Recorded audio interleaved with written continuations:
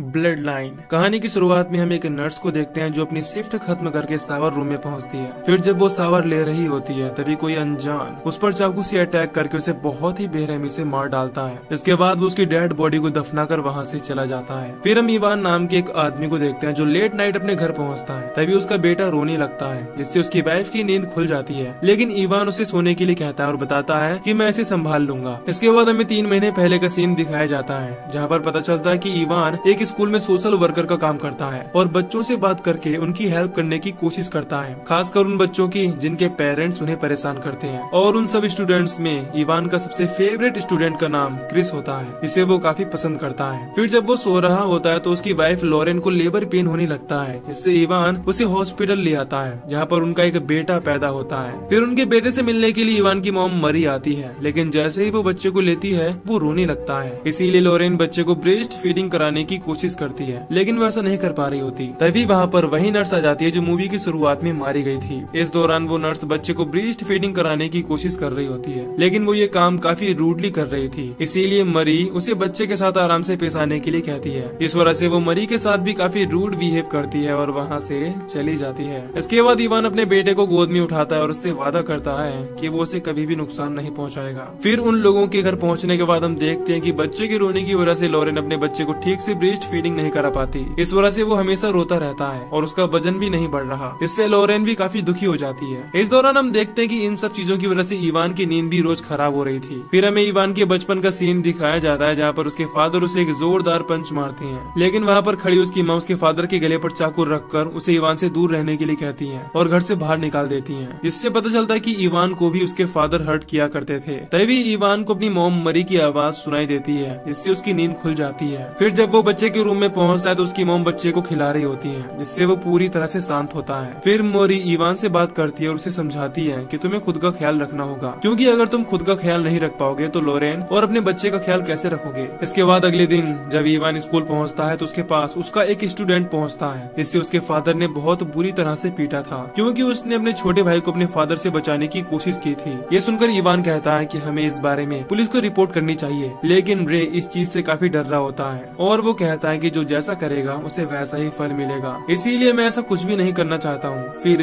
रे के जाने के बाद इवान अपने पास मौजूद पुलिस की पुरानी रिपोर्ट से रे की डेड की फ़ोटो और नाम निकालता है और रात होने के बाद एक बार में पहुँचता है, जहाँ उसे रे का डेड जैक्सन मिलता है, जिसने बहुत ही ज़्यादा ड्रिंक कर रखी थी। इसीलिए इवान उसकी हेल्प करने के लिए कहता है कि मैं तुम्हें तुम्हारे घर तक छोड़ दूँगा और इस पर वो इस चीज़ के लिए तैयार हो जाता है। अब वो इवान को एक सुनसान मैंसन में ले जाता है, जहाँ पर वो रहता था। वहाँ पहुँचने के बाद इवान उससे पूछता है कि क्या किसी को पता है कि तुम यहाँ पर रहते हो? इस पर वो इस चीज़ के लिए साफ़ इंकार कर देता है। ये जानकर इवान उस पर हमला करके उसे चेयर से बाँध देता है। फिर जब जैक्सन को होश आता है तो वो काफ़ी हैरान था। वो इवान से कहता है कि तुम मुझे यहाँ से जाने दो। मैं किसी को कुछ भी नहीं बताऊँगा। और तुम मेरे साथ ऐसा क्यों कर रहे हो? इस पर इवान जैक्सन को उसके बेटे रे की फ़ोटो दिखाता है। इससे उसे लगता है की इवान को उसके बेटे ने भेजा है। इसीलिए वो अपने बेटे के बारे में काफ़ी गलत बातें बोलने लगता है। इससे इवान उसे एक जोरदार पंच मारता है। लेकिन इसके बावजूद वो आदमी इवान को गालियाँ देने लगता है। इसीलिए इवान एक चाकू से उसके पेट पर अटैक कर देता है। ये देखकर जैक्सन समझ जाता है कि उसकी जान खतरे में है। फिर इवान उससे पूछता है कि तुम जब अपने बेटे को मारते हो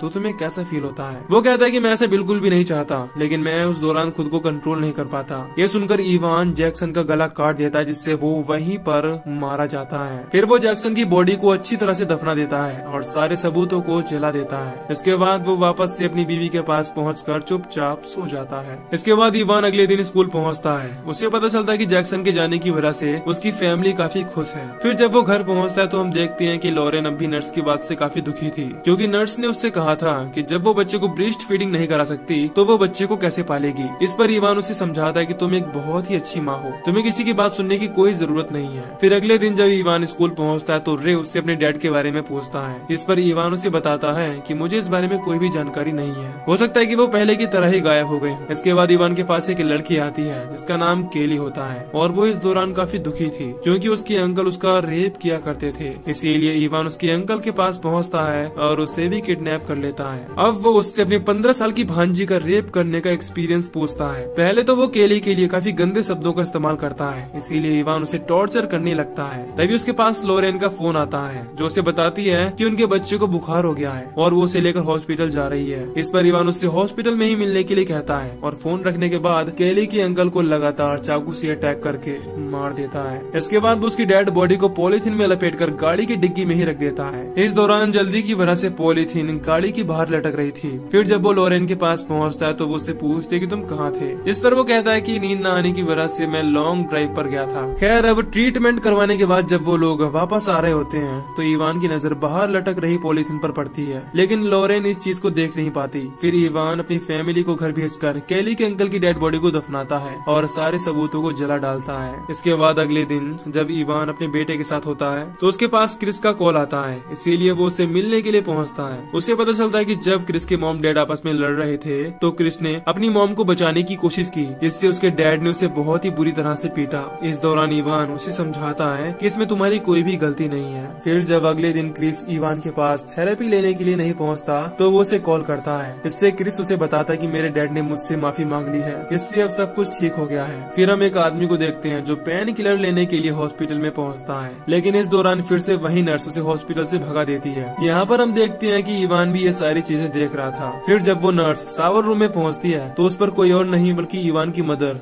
मरी अटैक कर देती है, क्योंकि उस नर्स ने उससे काफ़ी रूडली बिहेव किया था। इधर हम देखते हैं कि ईवान ने भी उस आदमी को किडनैप कर लिया था, जो हॉस्पिटल में पेन किलर लेने आया था। फिर वो सबकी तरह उससे भी यही सवाल पूछता है कि, तुम्हें अपने बेटे को पीटने में क्या एक्सपीरियंस मिला। इस बात से वो आदमी समझ जाता है कि ईवान उसके बेटे क्रिस का थेरेपिस्ट है। साथ ही साथ वो ये भी समझ जाता है कि ईवान पहले भी इस तरह के लोगों को मार चुका है। इसीलिए वो ईवान को समझाने की कोशिश करता है कि मैं बीमार हूँ और मुझे नशे का एडिक्शन है। जिसकी वजह से मेरी और मेरी वाइफ की लड़ाई होती रहती है। लेकिन जब क्रिस हमारे बीच में बोलता है तो मैं खुद को रोक नहीं पाता। हालाँकि अब मैं खुद पर कंट्रोल करने की पूरी कोशिश कर रहा हूँ, क्योंकि मैं अपने बेटे क्रिस से बहुत प्यार करता हूँ और मुझे इस चीज़ के लिए सिर्फ़ एक चांस चाहिए। इस दौरान वो ये भी बताता है कि पहले तो मैं क्रिस की मोम को मिलने वाले पैसों के लिए ही वापस गया था। लेकिन मुझे एहसास हो गया कि मुझे अपनी फैमिली की ज़रूरत है। फिर वो बार बार ईवान से रिक्वेस्ट करने लगता है और कहता है कि तुम कभी भी किसी से प्यार नहीं कर सकते, क्योंकि जब तुम्हारी फैमिली को इस बारे में पता चलेगा तो वो सब तुमसे दूर हो जाएँगे। ये सुनकर ईवान उसका गला काट कर उसे बहुत ही बेरहमी से मार डालता है। इसके बाद हमें फिर से उसका पास्ट दिखाया जाता है, जहाँ पर ईवान के फादर उसकी मोम मरी को मार रहे हैं। जिससे वो अपने फादर पर चाकू से अटैक करके उनका गला काट कर उन्हें मार डालता है। इसके बाद उसकी मोम ने उसके फादर को वहीं गार्डन में दफना दिया था। फिर, प्रेजेंट में जब ईवान घर पहुँचता है तो उसकी वाइफ उससे पूछती कि क्या तुम ठीक हो? इस पर वो बताता है कि मैं कभी कभी बहुत ही ज़्यादा स्ट्रेस महसूस करता हूँ। इसीलिए लॉन्ग ड्राइव पर चला जाता हूँ। फिर जब ईवान क्रिस की थेरेपी ले रहा होता है तो वो अपने डैड के गायब होने की वजह से बहुत ही ज़्यादा दुखी था। जिससे उसे समझाते हुए इवान कहता है कि हो सकता है कि तुम्हारे डैड तुम्हारी मम को मिलने वाले पैसों के लिए ही तुम्हारे पास वापस आए थे। ये बात सुनकर क्रिस काफ़ी हैरान होता है, क्योंकि उसने कभी भी ईवान को पैसों की बात नहीं बताई थी, जो कि उसकी मॉम को किसी फंड के रूप में मिलने वाले थे। हालाँकि इस दौरान ईवान उसे समझाने की कोशिश करता है कि ये बात तुमने ही मुझे बताई थी। खैर, इसके बाद वो तुरंत ही वहाँ से चला जाता है। फिर हमें ईवान के घर का सीन दिखाया जाता है, जहाँ पर उससे मिलने के लिए एक डिटेक्टिव पहुँचता है और उससे पूछता है की क्या तुम्हें शहर में हो रहे मर्डर के बारे में कुछ पता है। इस पर ईवान इस चीज़ के लिए हाँ करता है। इस पर डिटेक्टिव कहता है की उन तीनों मर्डर में एक ही चीज़ कॉमन है, की उनके रिलेटिव तुम्हारे स्टूडेंट्स थे। इस पर वो इस चीज़ के लिए पूरी तरह से सहमत होता है और बताता है कि वो बच्चे काफ़ी परेशान थे। इसी वजह से मैं उनकी हेल्प करने की कोशिश कर रहा हूँ। फिर जब डिटेक्टिव लॉरेन से पूछताछ करने की कोशिश करता है तो मरी और इवान उसे वहाँ से हटा देते हैं। इसीलिए अगले दिन डिटेक्टिव फिर से लॉरेन के पास पहुँचता है, जब वो अकेली होती है और उसे बताता है कि पहले जहाँ पर तुम्हारे हस्बैंड का घर था,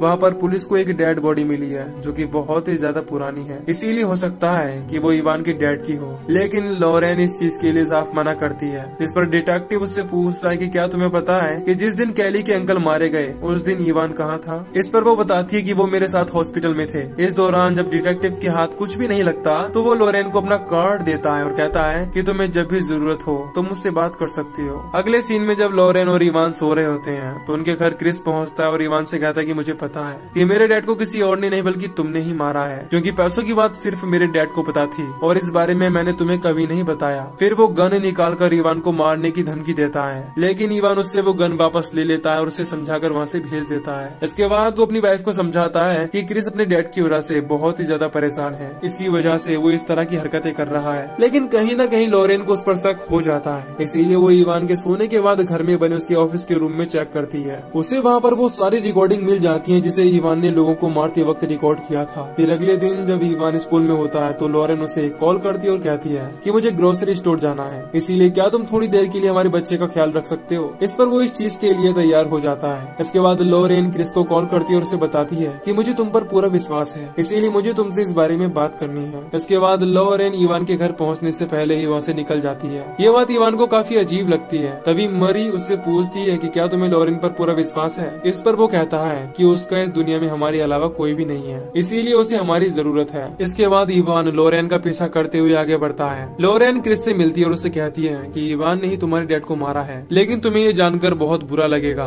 कि ये सब कुछ उसने सिर्फ़ तुम्हारे लिए किया। इसके बाद लोरेन गने निकाल कर क्रिस के कुछ समझने से पहले ही उसी के हाथों से ही उसे शूट कर देती है और फिर उसके हाथों में गन पकड़ा कर उसके फ़ोन से मैसेज टाइप करती है। ये देखकर इवान भी उसके पास पहुँच जाता है। फिर नेक्स्ट सीन में न्यूज़ में बताया जाता है कि क्रिस ने अपने डैड के साथ साथ दो और लोगों का कत्ल किया है और इस चीज़ को उसने अपने मैसेज में लाइव एक्सेप्ट किया है। तभी ईवान के घर पर डिटेक्टिव पहुँचता है, जिसकी बातों से हमें पता चलता है कि लॉरेन ने क्रिस के फ़ोन से सारी चीज़ें इंटरनेट पर डाल दी हैं। इससे ये बात प्रूफ हो गई थी कि उसने ही तीनों लोगों को मारा है। साथ ही साथ यहाँ पर हमें ये भी पता चलता है कि इवान ने डिटेक्टिव को यह बताया है कि क्रिस को सभी लोगों के बारे में उनकी फ़ाइल देखने पर पता लगा, जिसे उसने इवान के ऑफ़िस से चुराया था। इन सब सबूतों की वजह से इवान पूरी तरह से बच जाता है और इसी के साथ ये मूवी यहीं पर खत्म हो जाती है। तो दोस्तों, अगर आपको इस मूवी की एक्सप्लेनेशन पसंद आई हो तो वीडियो को लाइक और चैनल को सब्सक्राइब कर दीजिए। बाकी मैं मिलूँगा आपसे न्यू वीडियो में। Till then take care love you bye bye